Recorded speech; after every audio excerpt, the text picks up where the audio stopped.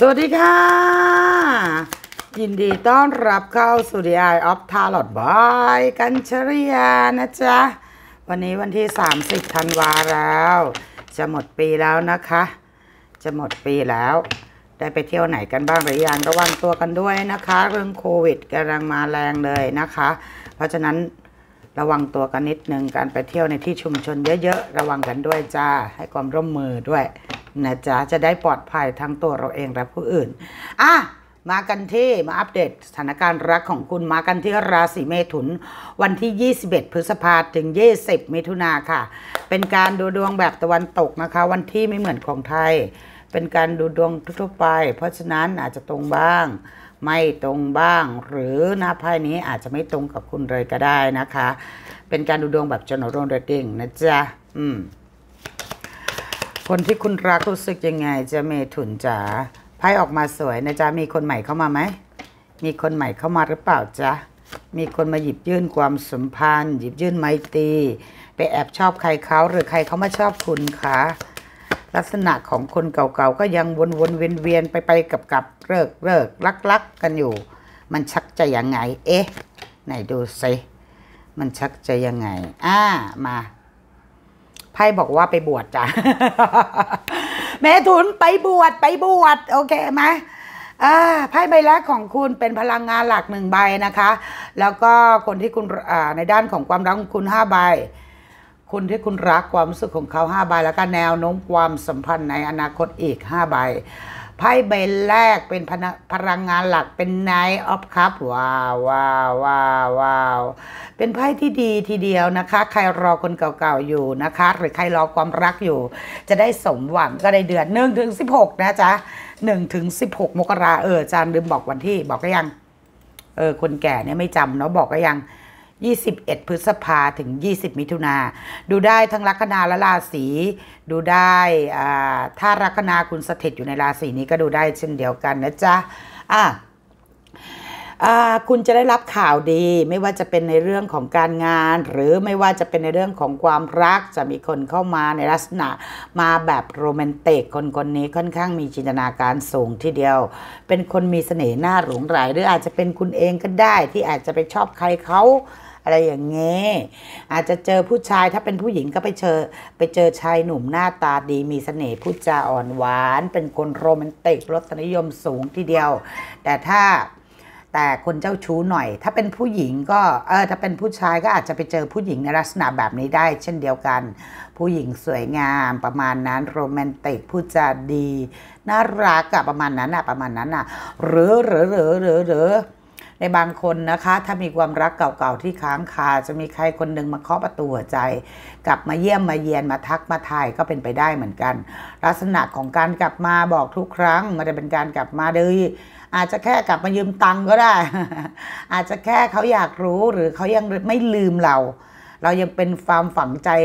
เป็นความรู้สึกที่ฝังใจกับเขาอยู่ก็ได้ เป็น แบบว่า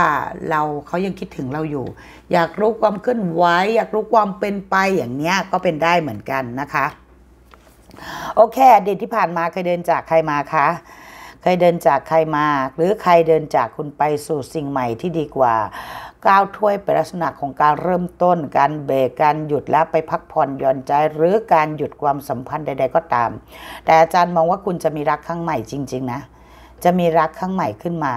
หรือบางคนในกรณีที่มีรักเก่า คนเก่าจะได้กลับมาและมีความรู้สึกใหม่ ๆ ซึ่งกันและกัน คนที่คุณจบไปอะคนที่คุณคิดว่าคุณไม่ได้ความยุติธรรมอะช่วงนี้อารมณ์ขึ้นขึ้นลงลงๆนะจ๊ะเมถุนเดี๋ยวดีเดี๋ยวร้าย เป็นไบโพล่าแล้วก็ระวังจะไปเจอคนที่มีความลับเยอะคนที่เขาเสน่ห์แรงๆ แล้วเขามีความลับกับคุณเขาไม่ได้คุยกับคุณคนเดียวประมาณนั้นประมาณนั้น โอ้ พลังงานของคุณรักเก่าหนาแน่นมาก รักเก่านะคะ Six of Cup หรือในตอนนี้กำลังคุณกำลังนั่งคิดถึงคนเก่าๆ คนที่เคยจากไป คนที่มีความสัมพันธ์กันเป็นลักษณะของเขาบอกว่าถ้าคนที่เริ่มคิดถึงอดีต เริ่มคิดถึงคนเก่าๆนั่นหมายถึงว่าเราแก่แล้ว พอคนแก่ก็จะมองย้อนไปในอดีต แล้วก็เอาอดีตมาทบทวน เอามาเล่า เอามานึกถึงอะไรประมาณนี้เป็นไปได้ เขาไม่ให้ย้ำว่าแก่ ใช่ปะเขาไม่ให้ย้ำรักของคุณอาจจะเป็นรักต่างวัยค่ะ ต่างวัยแล้วก็ต่างชาติต่างศาสนารักทางไกลด้วยอาจจะเป็นได้นะคะ คนเก่าๆพลังงานของคนเก่าๆหนาแน่นมาก หรือคุณกับเขาคุณเด็กกว่าเขาหรือเขาเด็กกว่าคุณก็เป็นได้ เป็นรักเก่าสมัยประถมมัธยมมหาลัยหรือเป็นรักครั้งแรก อะไรเงี้ย puppy love อะไรแบบเนี้ยประมาณเนี้ยประมาณเนี้ยคือพลังงานคนเก่าหนาแน่นจังเลยไหนขอดูสักใบดิ ขอดูอีกสักใบสิจ้าเมถุนจ๋าแต่คุณจะเอาไหมนั่นเหรอ คือคุณก็เริ่มมองความสัมพันธ์นั่นแหละ คุณอาจจะคุยกับคนถ้าราศีธาตุน้ำกรกฎมีนพฤศจิกค่ะ แล้วก็พฤษภแล้วก็เฮอร์มิตคือราศีกันเขาคุณอาจจะยังย้อนมองความสัมพันธ์ว่าความสัมพันธ์เนี้ยมันเป็นความรักที่สามารถไปกันได้ไหม มันเป็นรักที่พัฒนาได้ไหม มองไปถึงการแต่งงานได้ไหมมองไปถึงครอบครัวที่อบอุ่นได้ไหม หรือคุณอาจจะมีการเดินทางไปเฉลิมฉลอง ไปงานแต่งงาน ไปเฉลิมฉลองไปไปบ้านเกิดบ้านเก่าเออ ไปบ้านเกิดก็เป็นได้นะ ไปเยี่ยมญาติก็เป็นได้มีการเดินทางด้วยนะ เออ ประมาณนี้หรือหรือหรือหรือรักของคุณนี้ถ้าคนที่ยังแบบยังยังโสดอยู่หรือว่าเพิ่งเลิกกับใครมา ก็อาจจะเจอรักใหม่ด้วยการเดินทาง การ ปปาร์ตี้ การไปงานบวชงานแต่งอะไรอย่างเงี้ยก็เป็นได้เช่นเดียวกันนะจ้าเมถุนเขารักคิดยังไงกับคุณค่ะ Queen of Pentacles Two of Cups Love Love นะคะ Knight of Pentacles แล้วก็ The Hermit The Tower คนคนนี้ยังมีใจให้กับคุณอยู่ค่ะ เขารู้สึกว่ามีใจคุยกับคุณคุยแล้วอยากคุยอีก แต่เขาต้องพยายามที่จะนิ่งเฉยและควบคุมอารมณ์และความรู้สึก เพราะเขารู้ว่าความสัมพันธ์เนี้ยมันไปได้ไม่ถึงฝั่งฝันค่ะ เขาอาจจะไม่สามารถให้สิ่งที่คุณต้องการได้ให้อะไร ให้ใจให้ความมั่นคงอย่างที่คุณอยากได้ ให้ความรักระยะยาวคบกันได้แค่ แค่คนคุย คุยกันไปคบกันไปนอกนั้นไม่มีอะไร คนคนนี้เป็นคนฉลาดมีความสัมพันธ์ มีทั้งคนเก่าคนใหม่ เยอะแยะไปหมด แต่ความสัมพันธ์คุณกับเขามันได้พังไปแล้วบางคนทะเลาะกันนะคะ บางคนทะเลาะกันแล้วมันยากลำบาก คุณก็รู้เขาก็รู้ในความสัมพันธ์นี้ยากลำบากในการที่จะเดินไปนะจ๊ะแนวโน้มความสัมพันธ์ในอนาคตค่ะมีคนกลับไม่ได้ไปไม่ถึง อารมณ์ประมาณว่ามีคนมีครอบครัวแล้วแล้วคะใครมีครอบครัวแล้ว มีลูกสองคนในบางคนมีครอบครัวแล้ว บางคนไม่มีบางคนมีต่างคนต่างมีหรือเปล่ามันมีทั้ง สิบถ้วยสิบเหรียญมาทั้งหมดเลย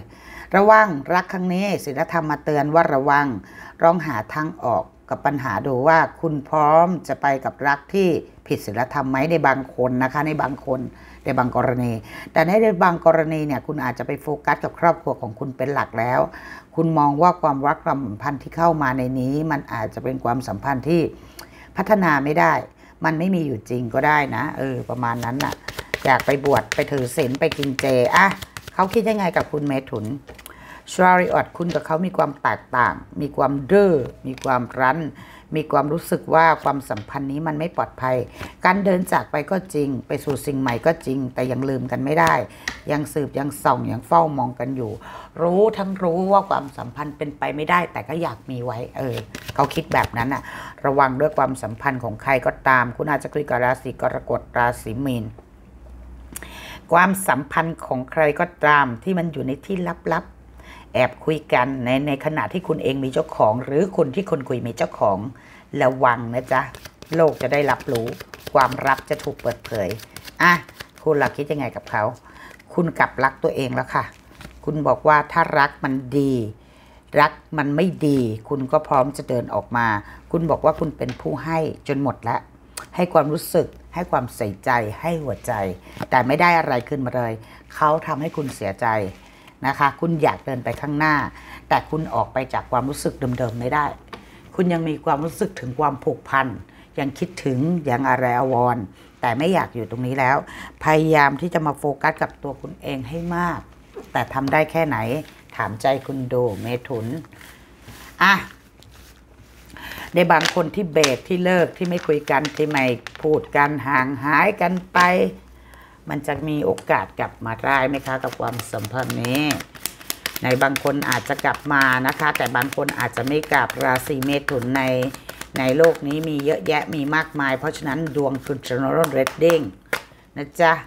กลับก็ไม่ได้ไปก็ไม่ถึงอย่างที่บอก จะเดินหน้าต่อในความสัมพันธ์ก็ทุกอยู่ในความสัมพันธ์ก็ทุกไพ่บอกว่ามันไม่สามารถให้ความชัดเจนกันได้ดอก เดอะฮังแมนมาบอกว่ามันต้องเจ็บปวดอดทนอยู่ในที่ อยากกลับไหมอยากมีคนจะกลับมาจริง ๆ นะ มีมีแน่แน่ในบางเมถุนมีแน่แน่ๆค่ะ มีคนเด็กน้อยจะมาขอโอกาส อาจจะมาขอโอกาสการพูดคุย คือเขาอาจจะตัดใจจากคุณไม่ได้ เพื่อกลับมาเพื่อพูดคุยถามว่าเขาจะเอาอะไรอาจารย์ เขาแค่คิดถึงเขาอาจจะอยากมาพูดคุย แต่ความสัมพันธ์ก็พัฒนาไม่ได้เหมือนเดิมแหละ คุณก็รู้เหตุผลเนี่ยเขาก็รู้เหตุผลเนี่ยเพียงแต่ว่าเขายังตัดใจจากคุณหรือคุณยังตัดใจจากเขาไม่ได้ เพราะมันยังทนความเจ็บปวดไม่ไหว เออ อยากมีกันก่อนคุยกันก่อนอะไรอย่างเงี้ยเขาอยากให้ความสัมพันธ์เป็นแบบไหนเขาอยากทักคุณมาแบบกระทันหันที่คุณไม่ตันตั้งตัว ความสัมพันธ์ที่มันจบเขาเหนื่อยเขาบอกว่าเขาเหนื่อย เขาแบกรับความสัมพันธ์แบบนี้มาเยอะ เขาเหนื่อยกับคุณคุณนิ่งเฉยใส่เขา คุณไม่เออไม่เออไม่อะไรเขาเลย เพราะฉะนั้นถ้าคุณนิ่งเฉยแบบนี้เนี่ยเขาอยากให้คุณตอบสนองความต้องการ ตอบสนองความความรู้สึกของเขาบ้าง หรือคุณเฉยหรือเขาเฉยไพ่สลับกันได้นะคะ มันเหนื่อยเขาบอกมันเหนื่อย มันเหนื่อยแต่ก็อยากเริ่มต้นใหม่นะ แต่เริ่มการเริ่มต้นนั้น ถ้าใครบางคนที่มีครอบครัวอยู่แล้วนั้น ระวัง การเริ่มต้นใหม่กับความสัมพันธ์เดิม ซึ่งรู้เหตุผลอยู่ว่ามันเป็นไปไม่ได้ มันก็จะยิ่งตอกย้ำความเจ็บคุณเข้าไปอีกเข้าใจป้าอ่าเมถุนมีคนใหม่เข้ามาไหมคุณบล็อกใครพยายามบล็อกใครคุณเลือกไม่ได้ว่าคุณจะทำยังไง คุณมีความรู้สึกบางคนทะเลาะกันนะ มีคุณมีคนเข้ามา แต่คุณไม่เปิดใจให้ใครหรอกค่ะ หัวใจของคุณนั้นยังทิ้งไว้ให้กับใครบางคน ถึงแม้นคุณจะเลิกราแต่บาดแผลในใจคุณยังร้าวลึก และยังไม่ยอมเปิดใจให้กับใครนะคะ คุณยังคาราคาซังหรือวนวนเวียนเวียนป้วนป้วนเปี้ยนกับคนเก่า ซึ่งมันยังไม่ได้ขาดจากกันน่ะ ยังรับรู้เขาอยู่ในเขาอาจจะอยู่ในหมู่เพื่อนฝูง อยู่ในอยู่ในไทม์ไลน์คุณอาจจะไปเห็นเขาอะไรอย่างเงี้ยเขาฝากบอกคุณห้าใบเมถุนเขาบอกว่า เขาอยากส่งข้อความหาคุณ เขาอยากพูดอยาก clear กับคุณ เขาอยากขอโอกาสจากคุณ เขาอยากให้คุณยืนอยู่ตรงนี้ให้มีความสุขเหมือนเดิม คุณอาจจะคุยกับคนที่มีชื่อเสียงก็ได้ หรือความสัมพันธ์นี้ถ้าได้พูดได้คุยได้เคลียร์ไม่ได้คิดไปกันเอง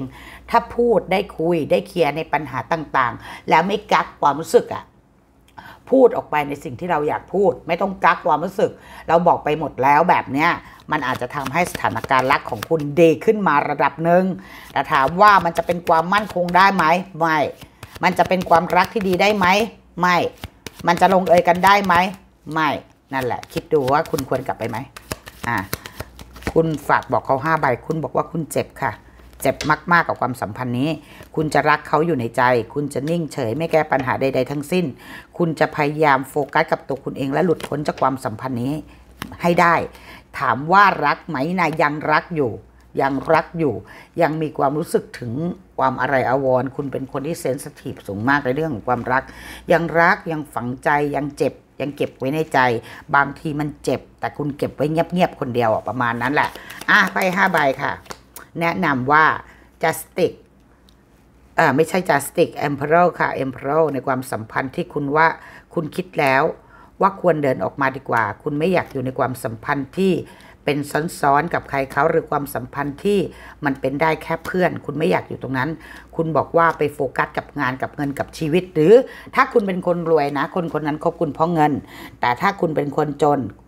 คุณอาจจะคบกับเขาเพราะเงินก็ได้ ไม่ใช่เงินอย่างเดียวผลประโยชน์หรือเงินทอง หรือมองอีกแง่หนึ่งนะคะไพ่ใบนี้ปรากฏมองอีกแง่หนึ่งคุณอาจจะพยายามละสิ่งต่างๆ ในความรักนี้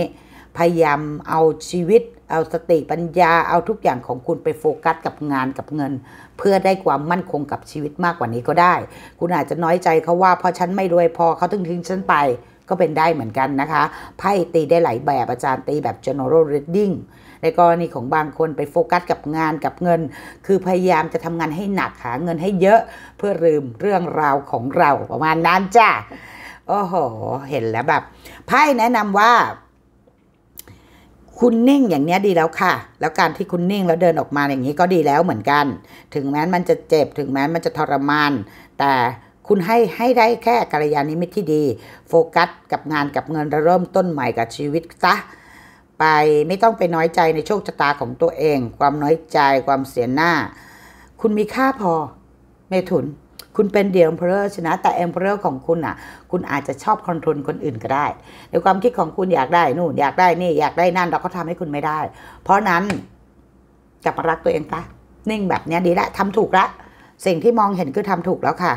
นิ่งเฉยไว้เดี๋ยวสักวันหนึ่งวันนี้มันยังคงเจ็บอยู่ เพราะมันเป็นแผลที่ร้าวลึก แต่ว่าอีกสักพักใหญ่ๆ ให้เวลามันจะเยียวยาทุกอย่างอกหักไม่ตายค่ะ ไม่ต้องไปงงวลเจ็บไหมเจ็บ สาหัสด้วย แทบตายแต่ไม่ตายค่ะ ไม่มีใครอกหักแล้วตายนะจ๊ะโอเคไหมสู้ๆนะจ๊ะเมถุน ในปีใหม่นี้ขอให้คุณมีความสุขกับคนถ้ามีคนเข้ามาใหม่ ก็ขอให้ได้เจอรักดีๆ ถ้าเป็นคนเก่ากลับมา รักดีๆถามตัวเองซิว่ากลับไปมันจะเจ็บมากกว่าเดิม หรือจะยอมเดินออกมาให้สุดเส้นทางที่คุณเดินไปเยอะแล้ว หรือยังจะกักขังตัวเองอยู่ในความรักหรือความทุกข์เดิมๆ การกักขังตัวเองในความรู้สึกเดิมๆ ความทุกข์เดิมๆ มันทำให้คุณเจ็บ เพราะงั้นก้าวไปข้างหน้าซะนะคะโอเคไหม อย่าลืมกดไลค์ กดแชร์อย่าลืมกดติดตาม อย่าลืมคอมเมนต์ใต้ description box อย่าลืมดูดวงส่วนตัวอะไรมาค่ะอาไซ AFE 0 3 2 9วันเราเจอกันคลิปหน้า สวัสดีค่ะ